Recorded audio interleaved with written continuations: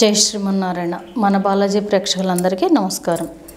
పూజా సామాను ఎప్పుడు క్లీన్ చేసుకుంటే మనకి లక్ష్మీదేవి అనుగ్రహం ఉంటుంది. మీకు డౌట్ రావచ్చు. ఏంటి పూజా సామానం క్లీన్ చేసుకుంటంలో కూడా లక్ష్మీదేవి అనుగ్రహం ఉంటుందా? ఇది నిజమేనా అని మీరు అనుకోవచ్చు. కానీ ఇది నిజమేనండి.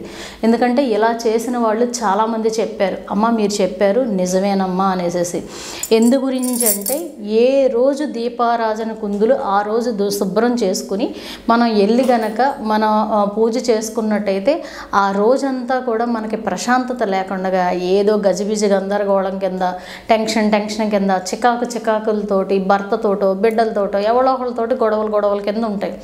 అలా కాకుండా మీరు ఎప్పుడైనా సరే పూజా మందిరంలో పూజా సామానాన్ని ముందు రోజు నాడే క్లీన్ చేసుకోవాలి. అంటే రేపు దీపారాజన చేసుకుంటాను అనగా ఈ రోజున శుభ్రంగా పండులాగా క్లీన్ చేసేసుకుని పక్కన పెట్టుకోవాలి. పక్కన పెట్టుకున్న తర్వాత ఈరోజు ఉదయం సాయంత్రం వెలిగించుకుంటున్నారు.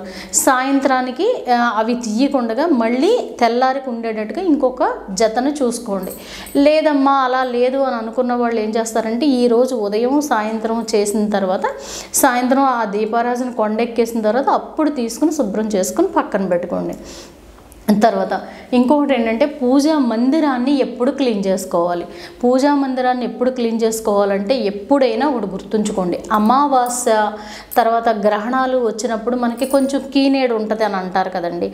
అప్పుడు ఏంటంటే ఒక రకంగా చెప్పాలంటే కొంచెం మనకి ఇంట్లో నెగిటివ్ ఫామ్ అవుతుంది అనేసి మనం అనుకుంటాం.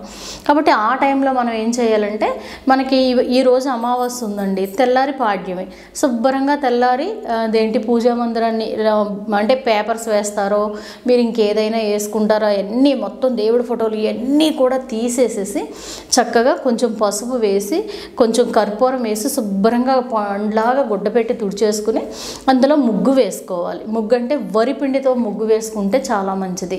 వెనకైతే పీటలు ఉండేయండి. పీటలు ఉండేవి కాబట్టి శుభ్రంగా పీటలకి శుభ్రంగా కడిగేసేసి పసుపు రాసి బొట్లు పెట్టి పసుపు కుంకుమ తర్వాత వరి పిండితోటి బొట్లు పెట్టుకునేవారు. ఇప్పుడు మనకు అన్ని రాళ్ళు స్టోన్స్ కింద మనం పెట్టించేసుకుంటున్నాం కాబట్టి శుభ్రంగా పసుపు కొంచెం కర్పూరం వేసేసి శుభ్రంగా క్లీన్ చేసేసుకుని తర్వాత దాని మీద ముగ్గు పెట్టుకోండి మీరు. ఒకవేళ మాకు వరిపిండి కుదరదమ్మా అనుకుంటే మీరు ఏదైనా శుద్ధ ముక్కతోటి కానీ శుద్ధ ముక్కతో పెట్టేటప్పుడు ఎట్టి పరిస్థితుల్లోనూ నీలం శుద్ధ ముక్కతోటి పెట్టకండి. వైట్ శుద్ధ ముక్కతోటి మీరు పెట్టేసుకోండి.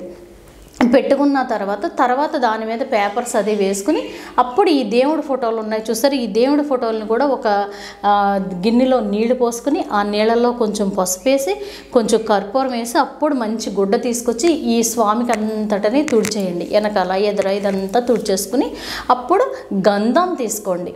గంధం అంటే ఇలా ఫోటోలన్నిటిని శుభ్రంగా పండ్లాగా తుడిచేసుకున్న తర్వాత గంధం ఒక గిన్నెలోనేమో గంధంలో కొంచెం నీళ్ళు పోసి కలపండి. కలిపిన తర్వాత కుంకుమ తీసుకోండి. కుంకుమలో నేను చెప్పాను కదా మీకు జవ్వాది దొరుకుద్ది అనేసి జవ్వాది కుంకుమ ఉంటుందండి ఆ జవ్వాది కుంకుమ.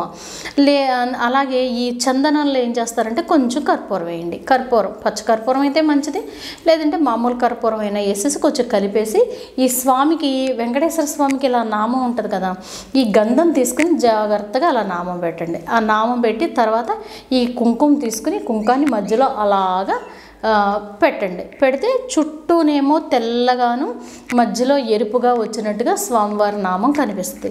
చక్కగా మీరు అలాగా అక్కడున్న మీ దేవుడి మందిరంలో ఉన్న ఫోటోలన్నిటికీ గంధం పెట్టండి కుంకుమ పెట్టండి గంధం పెట్టండి కుంకుమ పెట్టండి పాదాలకు కూడా గంధం పెట్టండి కుంకుమ పెట్టండి. శుభ్రంగా మళ్ళీ అన్నీ కూడా సదిరేసుకోండి. సదిరేసుకున్న తర్వాత దేవుడి మందిలో ఏ మందిరంలో ఏమైతే వస్తువులు పెట్టుకోవాలి అని నేను ఒకసారి చెప్పాను. ఒకవేళ మీకు నేను మీకు ఒక రెండు మూడు వీడియోల తర్వాత అయినా నేను చెప్తాను. దేవుడి మందిరంలో ఏం ఉండాలి అన్నది నేను చెప్తాను.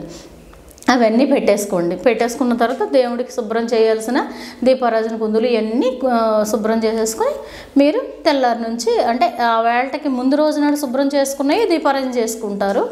అలా ఈ వాళ్ళ రేపటికి కావాల్సిన ఈ వాళ్ళ సాయంత్రం శుభ్రం చేసుకుంటారు. ఇంకోటి ఇక్కడ ఏంటి అంటే సోమవారం నాడు అమావాస్య వచ్చింది అనుకుందామండి. తెల్లవారితే మంగళవారం వచ్చింది. మరి పూజా సామానం క్లీన్ చేసుకోవచ్చా? దేవుడి మందిరం క్లీన్ చేసుకోవచ్చా? అని చాలామంది అడుగుతున్నారు. క్లీన్ చేసుకో చేసుకోకూడదు ఎట్టి పరిస్థితుల్లోనూ మంగళవారం కానీ శుక్రవారం కానీ దేవుడు మందిరాన్ని కానీ దేవుడు సామానం కానీ దేవుడికున్న బొట్టుని చెరిపి మీరు బొట్టు పెట్టడం కానీ ఇవన్నీ మటుకి ఎట్టి పరిస్థితుల్లోనూ మనం చెయ్యకూడదు. చేస్తే ఆ నెలంతా మనం చాలా సమస్యల్లోకి వెళ్ళిపోతాం. అది ఒకటి గుర్తుంచుకోండి. తర్వాత ఇంకొకటి ఏంటంటే చాలామందికి ఎన్నిసార్లు చెప్పినా అసలు మనం ఆడవాళ్ళంగా పుట్టాం కాబట్టి కొన్ని కొన్ని ప్రశ్నలు అనేది వెయ్యకూడదు సిద్ధ సిద్ధాంతుల్ని ఏమైనా వేస్తున్నారంటే అమ్మ నాలుగో రోజు దేవుడి మందిరం క్లీన్ చేసేసుకోవచ్చా? అమ్మ మూడో రోజు దేవుడి మందిరం క్లీన్ చేసేసుకోవచ్చా? ఎలా క్లీన్ చేసుకుంటారండి? ఎలా చేసుకుంటారు చెప్పండి? అసలు ఆ- ఆ టైంలో మనం ఎలా ఉంటాము? మనం ఎలా పూజ చేసేసుకుంటానికి అన్నీ సిద్ధం చేసేసుకుంటానికి మనం లేదమ్మా తలారా స్నానం చేసేసి చేసేసుకోమంటారు? తలారా స్నానం చేసినంత మాత్రాన శుద్ధి ఎలాగైపోద్ది? మీరు మూడో రోజు నాలుగో రోజు ఉంటే ఐదో రోజు నాడు శుభ్రంగా పండ్లాగా బకెట్లో పసుపు వేసుకుని మీరు స్నానం చేసిన తర్వాత అప్పుడు వచ్చి దేవుడి మందిరాన్ని క్లీన్ చేసుకోవాలి. అంత అలా చెయ్యగలిగినంటేనే మీరు వెళ్ళండి. లేదంటే మానేయండి. మీ వారికో పిల్లలకో ఎవరికో వాళ్ళకి అప్పచెప్పండి. అంతేగాని మీరు ఎట్టి పరిస్థితుల్లోనూ మూడో రోజు నాలుగో రోజు అనేసి నేను పూజా మందిరం క్లీన్ చేస్తానంటే పడే బాధ మీరే పడతారు ఎవ్వరూ పడరు. కాబట్టి బాధ మనం పడుతూ ఎదురోళ్ళ మీద నింద వెయ్యకూడదు. కాబట్టి అలా ప- అలాంటి ప్రయత్నం చేయకండి.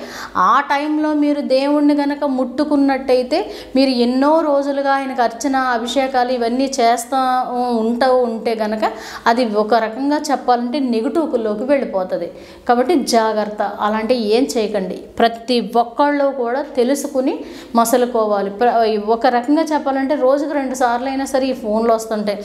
అందులోని బ్రహ్మోత్సవాలు వస్తున్నాయి. ఇంకా బ్రహ్మోత్సవాల గురించి అడుగుతుంటారు. నాకు నాలుగో రోజమ్మా ఆ రోజుకి మొదలు పెట్టేయచ్చా నాకు మూడో రోజమ్మా అయ్యో ఎలాగమ్మా? ఏంటి అంత కంగారు? అలాంటప్పుడు దానికి రాకుండా ఉండటానికో లేదంటే అయిపోయిన తర్వాత ఎక్కడి నుంచి మీకు లోటు ఉందో అక్కడి నుంచే చేసుకోండి. ఇలా గనక చేయాలి తప్ప అది ప్రకృతితో సంబంధించింది తప్ప మందేమీ కాదు కదా. అలా కాబట్టి భగవంతుణ్ణి ఆరాధించాలి అని అంటే ఆ భగవంతుణ్ణి చాలా ఇష్టంగా మనం మనసులో తలుచుకుంటూ ఉంటే అలాంటి ఆటంకాలు ఆ టైంలో రాకుండా ఆయనే చేస్తారు. కాబట్టి నేను చెప్పినట్టుగా చక్కగా దేవుడి మందిరాన్ని ఎప్పుడు క్లీన్ చేసుకోవాలి ఏంటన్నది తెలుసుకుని చేసుకోండి. జయ శ్రీమన్నారాయణ.